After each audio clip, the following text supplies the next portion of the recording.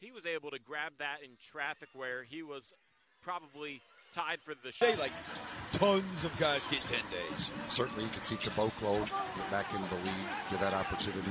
Especially last year in Brazil. Well, especially during the COVID year. Moves up and, and continues to develop. Just see. Stockton looking to push the pace in this one, and Gilyard rips it away. He is so